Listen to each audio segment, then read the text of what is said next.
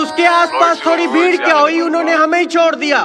कोई ना बेटा एक दिन ऐसे मुकाम पे पहुँचेंगे कि आपको भीड़ में खड़ के ही हमें देखना होगा।